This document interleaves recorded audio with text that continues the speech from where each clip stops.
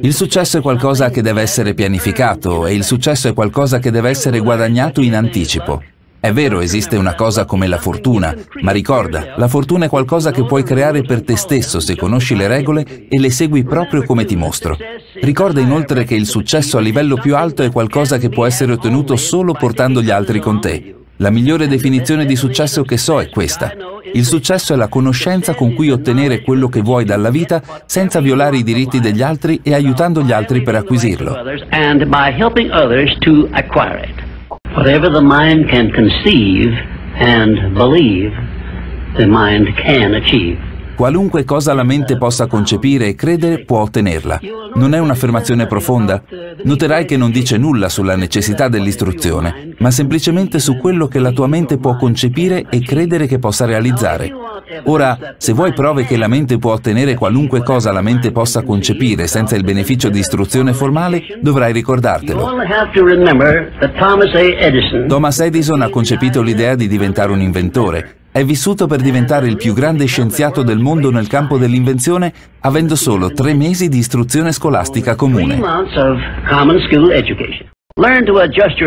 Impara ad accettare lo stato d'animo delle altre persone. Per andare d'accordo con loro punta ad una pace con te stesso e con gli altri. Allontanati dalle relazioni che non ti accrescono e fai in modo che le persone attorno a te non siano frutto di circostanze casuali. Le persone di successo evitano sempre ogni inutile controversia. Beh, hai bisogno di un taccuino tascabile, qualcosa simile a questo qui, a foglie mobili.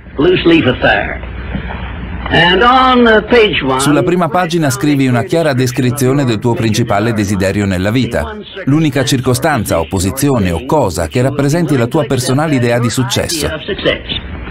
E ricorda prima di iniziare a scrivere che sei l'unico a impostarne i limiti, non permettere alle abitudini della tua mente o al giudizio degli altri di impostarle per te. Secondo, a pagina 2 del tuo quaderno scrivi una dichiarazione chiara di ciò che intendi dare al mondo in cambio di ciò che desideri ricevere dalla vita. E poi inizia da qui, dall'iniziare a dare.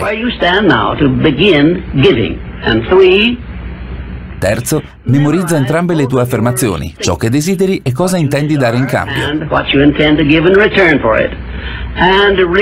Ripetile almeno una dozzina di volte al giorno e sempre terminando le tue dichiarazioni con un'espressione di gratitudine per ciò che hai già ricevuto sin dalla nascita.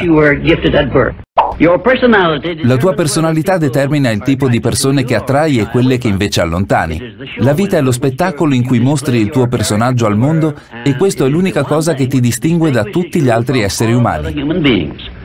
È il tuo marchio di fabbrica con cui le persone ti riconoscono ed è la cosa che determina il tuo successo o il tuo fallimento.